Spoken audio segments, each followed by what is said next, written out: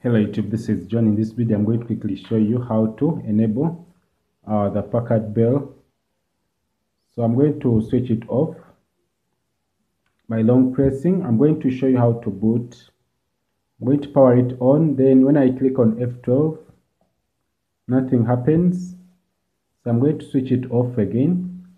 Then I'll go and power it on and I click on F2. So when I click on F2, this will take us to the BIOS settings as you can see then I want you to click the right arrow key. Then to take us to main. Then you check you look for F12 boot menu. When you reach there you click the down arrow key. Then you select. Then click F10 save changes. Then the computer will restart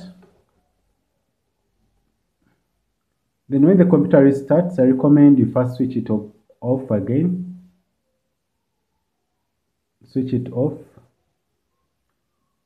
Then start it, then click F12. So this will take you to the boot menu, as you can see here. And then you're good to go. Then I have my USB, the one you see here on the option 2. Says how you connect then to ask to click any key. Then if you click any key then the USB boot option will start. So thanks for watching. If this video was helpful please subscribe my channel and comment for more help. Thanks for watching. This was a Packard laptop.